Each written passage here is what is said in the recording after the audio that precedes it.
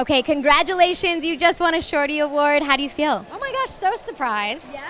Like, J.K. Rowling and Elizabeth Gilbert are like two of my favorite authors, so I really thought there was no chance, but I just thought it'd be fun to come and see everybody and kind of fangirl about all the other people that were here.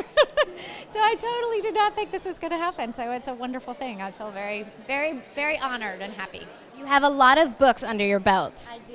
Any any that are coming up that we don't know about? No, I'm working on one right now. So this is actually a very nice thing because it's been kind of a hard trudge. So you know, why? Little, uh, you would think after 12 books that you would know what you're doing and that you would feel like you have the system down, but it actually, for me, it's getting harder and harder every book. I think just because kind of competing with what you already did and. You know, so I and I don't want to repeat myself. So this is such a nice thing. Like it just makes me feel better. It also makes me feel like I'm not wasting all my time on social media. You know, like because a lot of times I feel like if I'm on social media, I'm not working. But now I'm working. See, it paid off. You're cultivating an audience.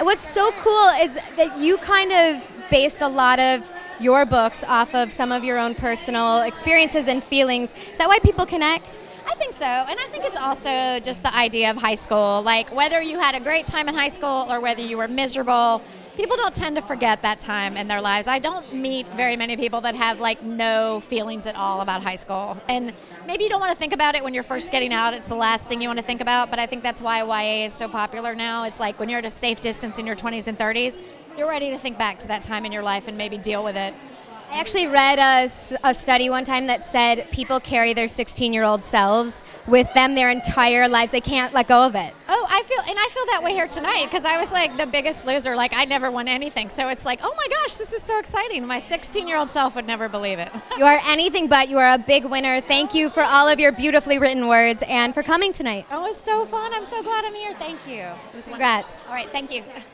Bottom line, I create stars on the internet. And if you're a star on the internet, then you're at the Shorty Award.